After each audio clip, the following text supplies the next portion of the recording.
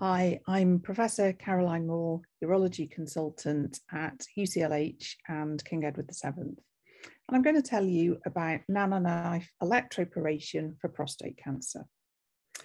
It's one of the focal therapies, which means that we use it to treat just the cancer and not the whole prostate.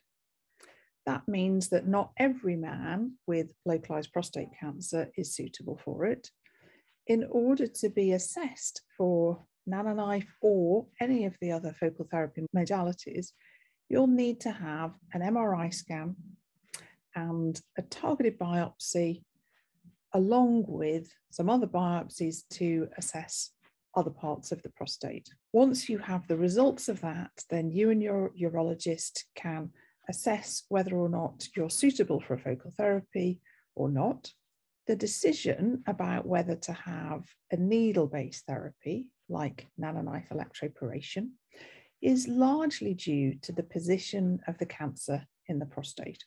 Nanoknife electroporation uses needles and passes a low volume electric current across those needles, taking pairs of needles at a time in order to disrupt the cell membrane.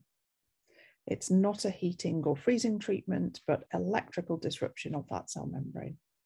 Once the cell membrane, the outside, the sort of skin of the cell is disrupted, then the cell dies and the cancer tissue that we're aiming to treat dies. It's a focal therapy that we use largely in the anterior gland, and it's suitable for small tumours, usually of Gleason grade 3 plus 4 or 4 plus 3. The procedure for nanoknife electroporation is a day surgery procedure under a general anaesthetic. You'll have a catheter for a few days afterwards, and you'll often have an MRI scan to check the result in the first week to 10 days. Follow up is usually with MRI and PSA and biopsies if needed.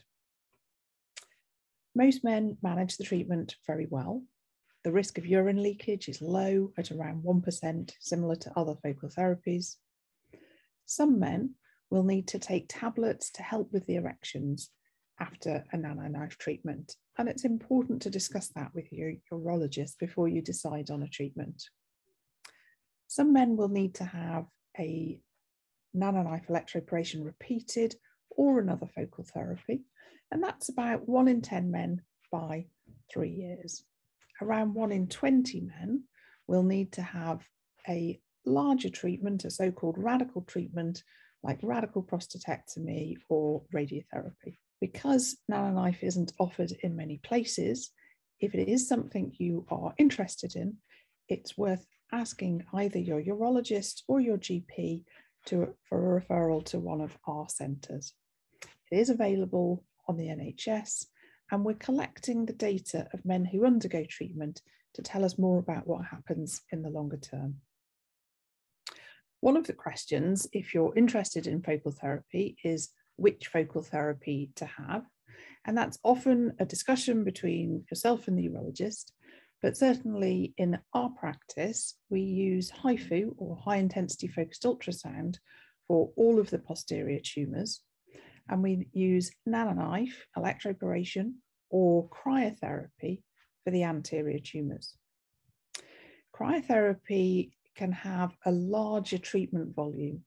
So if I'm choosing or helping someone to decide, I would tend to use cryotherapy for a larger tumour in a larger prostate and nanoknife for an anterior tumour which was smaller or in the anterior horn. The other consideration is that not all of the focal therapies are offered at each centre that offers one of them. And that's worth looking at and asking the urologist who's talking to you about focal therapy if they think that you would be more suitable for something, even if they don't offer it themselves.